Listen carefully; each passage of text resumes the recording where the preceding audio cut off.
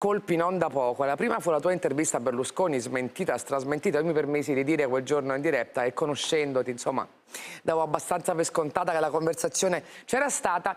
E poi anche quel famosa intervista di Giorgetti che ha aperto un'altra breccia. Però veniamo alla breccia di Trieste, perché mi interessa molto il vostro parere su quello. Io sono rimasta un po' colpita, devo dire, quando ho letto questa circolare. Sarà che qua ci siamo tutti vaccinati molto ordinatamente, ma insomma l'idea che il Ministero dell'Interno dica alle imprese portuali, naturalmente adducendo ragioni più che, più che, insomma, che valide, cioè che il porto è un'attività strategica, che nella filiera diciamo, a distribuzione se tu blocchi un pezzo crei un disastro per tutto il paese, fatto sta che dicono fate i tamponi gratis fino a dicembre, facciamo, chiudiamo un occhio, però se chiudiamo un occhio per i portuali tutti gli altri si sentono dei fessi francamente, Giannini e Menzolini.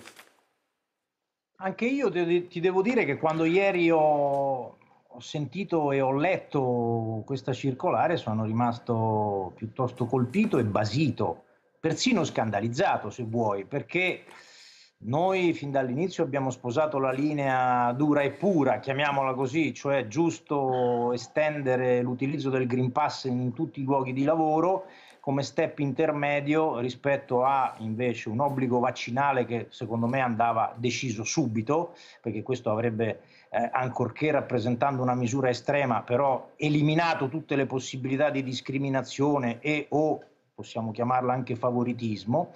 Bene, però allora se decidi di seguire la linea dura e pura, quindi Green Pass in tutti i luoghi di lavoro, tutti i luoghi di lavoro con pari regole che valgono in ciascuno dei luoghi di lavoro, e, e poi dopo, se a distanza di tre giorni dal D-Day, nel quale questo obbligo deve scappa, scattare, cominci con le deroghe, eh, beh, allora cade tutto. Quindi da questo punto di vista io il governo non lo capisco. È una scelta che non capisco. No, è una scelta pericolosa Massimo, che giustamente... adesso in poi tutti a dire allora l'hai fatto per Trieste? Lo fai all'Ilva di Taranto? Allora lo fai anche per me. No, tanto mi devi notare che sono tre giorni dal D-Day. A me mi ha colpito pure questo, che la circolare comincia facendo riferimento al esatto. mm, provvedimento del 21 settembre. Dal 21 settembre ad oggi noi ci, ci, ci ritroviamo tempo, no? che oggi diciamo ai portuali, vabbè voi siete una categoria a parte, ma di che stiamo parlando?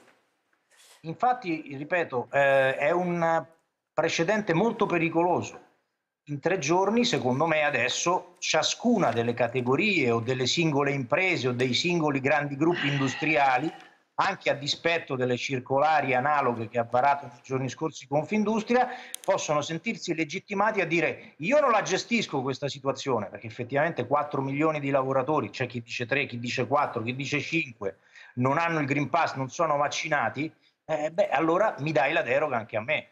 Eh, a quel punto io non so Draghi che cosa possa rispondere, eh, io, non, io, non, saprei cosa rispondere. Eh, Tant'è vero che io nell'apertura, lo dico anche a Augusto che ci ha raggiunti, dicevo, beh, forse è il momento dell'obbligo vaccinale, perché se l'80% degli